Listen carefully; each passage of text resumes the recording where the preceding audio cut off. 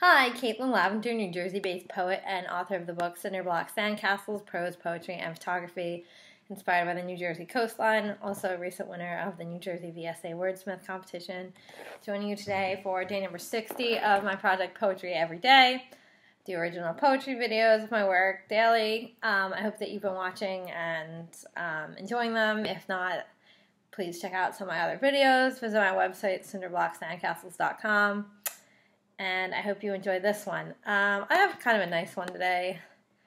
It's called uh, Ocean Grove, and it's from my book Cinder Block Sandcastles. It's in the first chapter, um, and it's just a simple depiction of Ocean Grove, New Jersey, a town near where I live. That's kind of kind of stuck in the past a little bit, but it's cool. A lot of uh, visitors really like it. Uh, so here we go. Ocean Grove.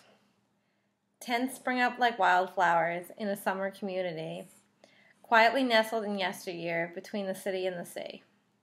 Sunrise Sunday service still takes precedent over weekly obligations, family values set. Crowd round the auditorium on humid July nights. Bands play old time favorites, vendors selling sweet delights.